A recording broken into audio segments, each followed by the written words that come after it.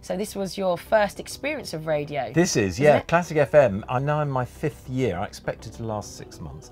Our listeners, I think, first and foremost, love their music. And if I might say so, I think that most of your listeners listen to you because they want to hear you. I love it in the film when the Robert De Niro character turns to some of the trendy young things in the office and says, What is all this social media stuff? now, help me, what is it?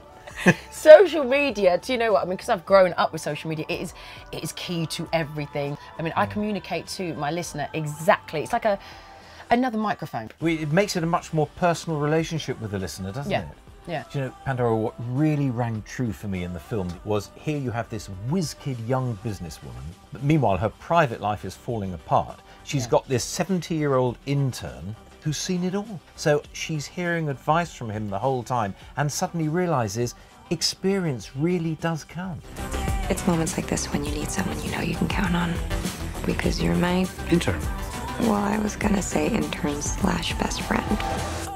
do you know what it was my grandma that always said look you know what you want to do and when you find out what it is do it with passion do it with love and be confident and i knew radio was my calling and i knew it from from a little girl my granddad once said to me when I was a teenager, blow your own trumpet because if you don't, no one else is going to blow it for you.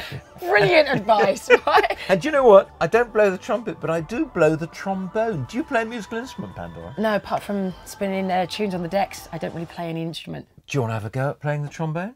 i would love to I happen to have it with me. Okay let's go let's go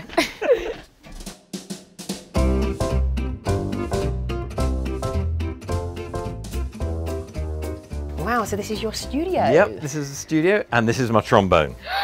Look at that. very technical here okay Yeah.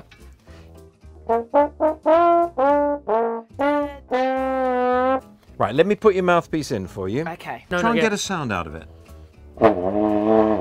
That- You're playing the trombone, Pandora. hang on Amazing. Now, yeah an hour doing this and you'll be professional.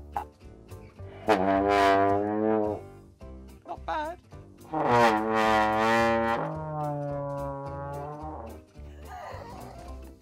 anything could happen Would you like to join my band? I think we'll have you in our band, Pandora. can i